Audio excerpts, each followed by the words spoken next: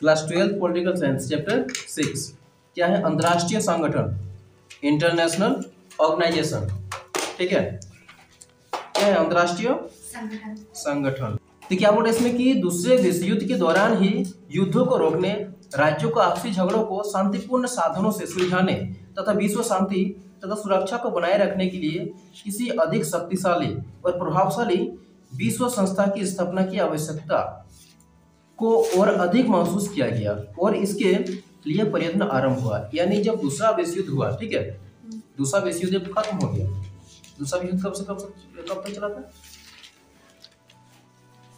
हम्म?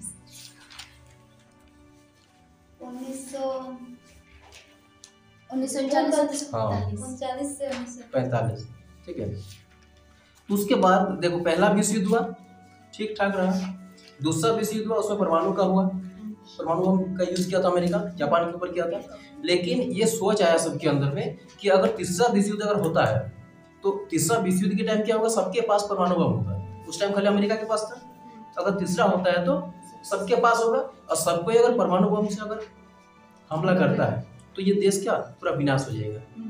कोई बचेगा फिर? नहीं। कोई नहीं बचेगा। इसलिए बोल रहा है कि अब जब दूसरा विश्व युद्ध हो गया ठीक है? अब उसको तीसरा जैसे ना हो ठीक है? उसके बाद से सोचा कि अब हम लोग कुछ अलग से ऐसा संगठन बनाएँगे जो सभी देशों का सबसे मेन होगा और उसके बाद को सबको मानना भी पड़ेगा। इसके परिणाम स्वरूप 24 अक्टूबर 1945 को संयुक्त राष्ट्र संघ का जन्म हुआ। तभी से ये संघ बनाया गया जिसका नाम दिया गया संयुक्त राष्ट्र संघ 24 अक्टूबर 1945 को ठीक है? हाँ 1945 को ये बनाया गया था। ये दूसरा विश्व खत्म होने के बाद बनाया गया था ये। क्या नाम था उसका? संयुक्त राष्ट्र संघ। आज का युग अंतर्राष्ट्रीय अंतर्राष्ट्रवाद का युग है और प्रत्येक देश को अन्य राष्ट्रों के साथ मिलजुल कर चलना पड़ता है। अभी के टाइम में क्या है? सब देश एक साथ मिल के चलता है।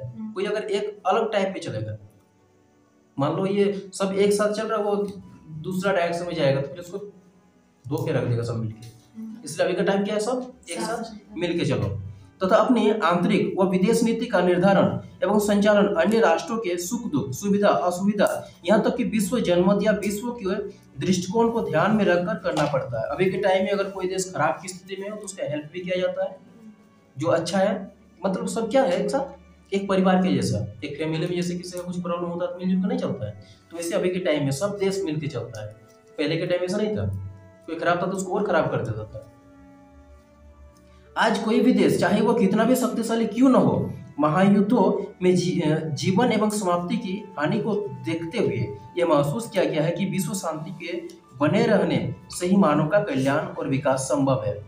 अभी के टाइम में जितना भी पावरफुल देश है जितना भी पावरफुल कंट्री है वो भी क्या चाहता है कि अभी शांतिपूर्ण रहे। हम क्योंकि युद्ध में किसी का भी फ़ायदा नहीं होता है। किसी का फ़ायदा होता है? नहीं। किसी का भी फ़ायदा नहीं होता है। मान लो कोई पावरफुल है उसको भी क्षति होता है कि नहीं? कुछ तो इफ़ेक्ट होगा। तो उसका जो इकोनॉमी है जो अर्थशास्त्र है डैमेज हो जाएगा। फिर आगे बढ़ पाएगा वो? नहीं। नहीं बढ़ पाएगा। इसलिए क्या चाहता है सब कोई? साथ। साथ में चलो शांतिपूर्वक रहे सब मिलजुल के रहे ताकि उसमें क्या है? सबका फ़ायदा है।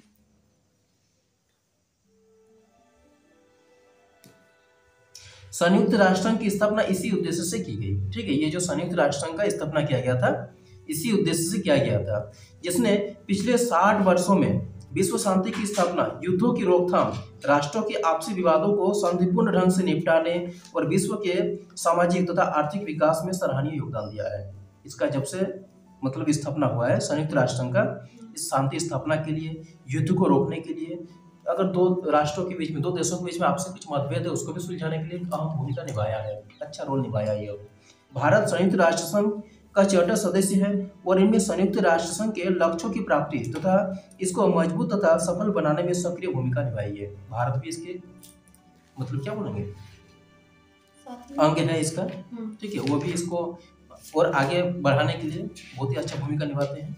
भारतीय संविधान में भी संयुक्त राष्ट्र के उद्देश्यों की प्राप्ति तथा विकास का उल्लेख अनुच्छेद इक्यावन में किया गया है, जिसमें कहा गया है कि भारत अपनी नीति ऐसा बनाए ताकि अंतर्राष्ट्रीय विवादों का शांतिपूर्ण तथा बातचीत में से समाधान हो।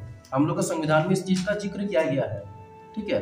अंतर्राष्ट्रीय शांति और सुरक्षा में बढ़ावा हो, राष्ट्रों के बीच उचित तथा सम्मान पूर्वक संबंध बने रहे। सभी देशों के साथ में क्या?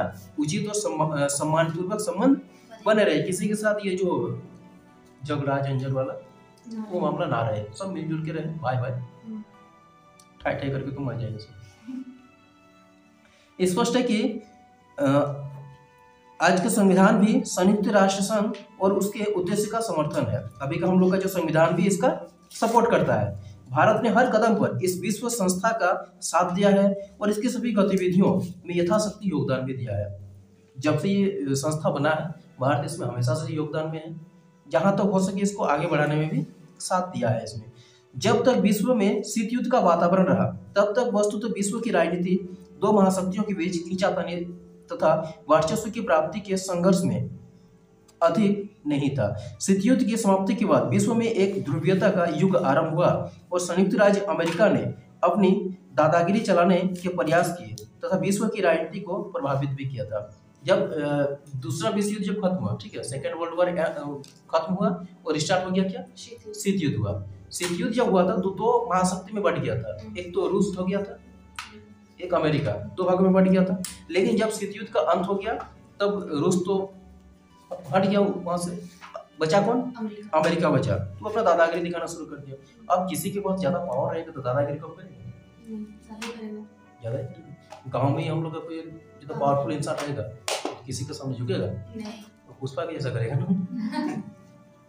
तो शीत युद्ध की समाप्ति की दृष्टि गुटनिरपेक्ष आंदोलन भी एक प्रभावशाली मंच के रूप में उभर कर गया है। 1990 में संयुक्त राष्ट्र की सदस्य संख्या एक सौ उनसठ तक पहुँच गई थी। 1990 में ये जो संयुक्त राष्ट्र की जो संख्या है इसमें 159 तक पहुँच गया था। ठीक है? और 1997 तक जो 185 हो गया। धीरे धीरे करके देशों की संख्या इसमें और बढ़ रहा है। हाँ। जो अब 2007 में 193 है। ये 2007 का बात कर रहा अभी के टाइम कितना पता नहीं। 2007 तक एक देश इसमें शामिल हो गया था। गुटनिरपेक्ष देशों की संख्या उन्नीस में गुटनिरपेक्ष आंदोलन के सातवें शिखर सम्मेलन तक जो नई दिल्ली में हुआ था, उसमें 101 तक पहुँच गई थी, जो कि आज 116 है। ये गुटनिरपेक्ष यानी किसी के साथ नहीं जाएँगे। गुटनिरपेक्ष आंदोलन मतलब क्या हम अपने देश के बारे में खाली सोचेंगे? एक जो क्या होता है कि कोई आदमी है उसके पीछे ढकेलते जाएँगे उसको। ढकेल ढकेल के उसके पीछे पकड़ के जाएँगे मतलब। नहीं होता है। खुद का कुछ है नहीं। क्या करेंगे? उससे के तो मेरा सब कुछ चल रहा है। हाँ नहीं होता किसी के पीछे ही चलते रहेंगे। हाँ। वो होता है एक दो देश होता है। जैसे क्या बोलेंगे जैसे हम लोग का ही जो है हम लोग का ही बगल में जो देश हाँ। चीन का पकड़े पीछे चलते रहता है। हाँ। तो वही होता है। तो लेकिन गुटनिरपेक्षता का अर्थ क्या है? हम किसी के आगे पीछे नहीं घूमेंगे। मेरा खुद का अपना देखना है। कोई लड़ रहा है तो उसके पीछे हम भी चलो एक ठो पेड़ लगा देते हैं हम भी तुम्हारे साथ हैं। ये नहीं हम लोग भारत एक शुरू से क्या है कि हम किसी के साथ नहीं जाएँगे। हम अपना खुद के बारे में सोचेंगे। हम लोग जब 1947 में हम लोग का आज़ाद हुआ देश तो हम लोग का बहुत स्थिति बहुत खराब था। उस टाइम जो हम लोग का प्रधानमंत्री था कौन? पंडित जवाहरलाल नेहरू। उन्होंने यही सोचा कि हम लोग देश को मज़बूत करना है क्योंकि खोखला करके तो चला गया अंग्रेज़। उसको मज़बूत करना है। किसी के पीछे चलेंगे तो खराब होगा इसकी स्थिति। इसलिए गुट निरपेक्षता आंदोलन में इसमें सहयोग किया, भाग लिया इसमें। मतलब इसका बनाने का जो मेन रोल है वो हम लोग का ही है, भारत ही है इसमें मेन पॉइंट में है। इसे पता चलता है कि इस आंदोलन को अंतर्राष्ट्रीय मंच पर एक प्रभावशाली गुट के रूप में देखा जाने लगा और इस गुट ने संयुक्त राष्ट्र संघ के संविधान में सुधार किए जाने की मांग की। सुरक्षा परिषद की स्थायी सदस्यों तथा उसके निषेधाधिकार की व्यवस्था को समानता के सिद्धांत का उल्लंघन बताया और एक ऐसी नई अंतर्राष्ट्रीय आर्थिक व्यवस्था की स्थापना की मांग की जाने लगी। जिसमें विकासशील देश अपने सामाजिक आर्थिक विकास की प्राप्ति के लिए विकसित देशों की कृपया पर आश्रित न रहे और आत्मनिर्भर बने। मतलब इस इसमें क्या बता रहे हैं कि जो विकासशील देश है जो पहले से विकास हो। चुका है ठीक है वो जो अभी विकास हो रहा है ये मतलब पूरी तरह से क्या रहे? आत्मनिर्भर खुद के ऊपर डिपेंड रहे।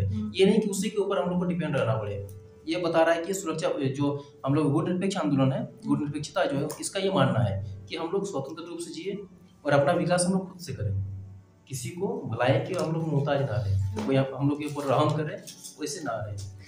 ये इसी का ये उद्देश्य है। ये जो संयुक्त राष्ट्र संघ जो है, इसका बहुत सारा अंग है, सुरक्षा परिषद है, उसके बाद जो डब्ल्यू एच ओ है वर्ल्ड हेल्थ ऑर्गेनाइजेशन है, ये सभी इसी का ये अंग है। तो सुरक्षा परिषद में भी जो हम लोग भारत का स्थायी सदस्य नहीं है उसमें। उसमें अस्थायी सदस्य के तौर पर हम लोग का भारत है। उसमें पाँच स्थायी सदस्य हैं और दस उसमें अस्थायी सदस्य हैं। तो अस्थायी सदस्य जो होते हैं वो कुछ दिनों के लिए चुने जाते हैं मतलब पाँच साल या कुछ चुने जाते हैं। वो फिर उसको हटा के दूसरा होता है। लेकिन जो स्थायी रहते हैं वो हमेशा। उसमें रहता है। वो अपने वीटो पावर का भी यूज़ करता है जो स्थायी होते हैं। हमेशा अगर कोई निर्णय लिया जाता है किसी देश को अगर मान लो गैर कानूनी घोषित करना है कोई देश में आतंकवाद घोषित करेंगे तो उसके लिए पाँचों का सहमति होना ज़रूरी है। कोई अपना वीटो पावर यूज़ करता है कि हम इससे सहमति नहीं है तो फिर उसको मानना पड़ता है। वो जो स्थायी है उसका ये पावर है लेकिन अस्थायी तो नहीं है। नहीं है। भारत हम लोग उसमें अस्थायी सदस्य है स्थायी सदस्य नहीं। है। ठीक है? ये इसमें अंतर्राष्ट्रीय संगठन इंटरनेशनल ऑर्गेनाइजेशन